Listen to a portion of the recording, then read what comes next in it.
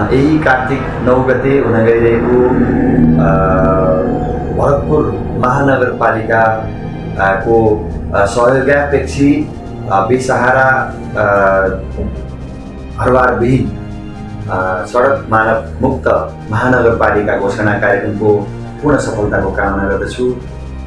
मानव सेवा आश्रमले मानव सेवा आश्रमको mission two thousand eighty two अन्तर्गत कुनै पनि बेसहारा घरबारविहीन विभिन्न किसिमले छाना मुनि बस्न बाध्य देशभरिका मानवहरू मुक्त गर्ने महान अभियानको पनि पूर्ण सफलताको शुभकामना दिन चाहन्छु।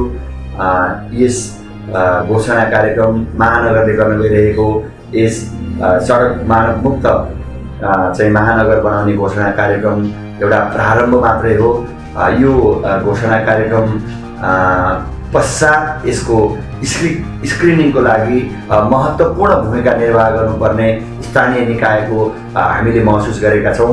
यस अन्तर्गत स्थानीय सरकार जनप्रतिनिधिहरू ले पक्कै पनि महत्त्वपूर्ण भूमिका निर्वाह गर्नुहुनेछ महानगरले जुन यो महाअभियान घोषणा महाअभियानमा देखाएको चासो र र निकै सक्रियता पूर्वक यो चाहिँ यो घोषणा अभियानका यी अब आठ दस दिनका चाहिँ रात्रिकालीन सडक सेवामा महत्त्वपूर्ण उपस्थितिले पनि जनमानसमा महानगरपालिकाले पक्कै पनि यो ट्रान्जिट पोइन्ट यो नारायणी अञ्चलको चितवन जिल्ला त्यसमा पनि भरतपुर महानगरपालिका विभिन्न देशका विभिन्न भागबाट चाहिँ यात्रीको रूपमा पनि जम्मा हुने एउटा सेल्टर पनि भएको हुँदाखेरि यसमा बढी मात्रामा सडक मानवहरू देखिने अवस्थालाई निराकरण गर्नका निमित्त देखाएको चासोप्रति हामीले निकै सराहनीय एउटा चाहिँ भूमिका निर्वाह गरेको महसुस गरेका छौँ।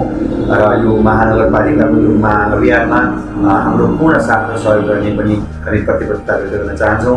विशेष गरी भन्नुपर्दाखेरि सम्पूर्ण लायन्स क्लबहरूको तर्फबाट यस घोषणा कार्यक्रमको कार्यक्रमलाई पूर्ण साथ सहयोग साथै एकैबद्धता रहेको पनि म यहाँलाई जानकारी गराउन चाहन्छु।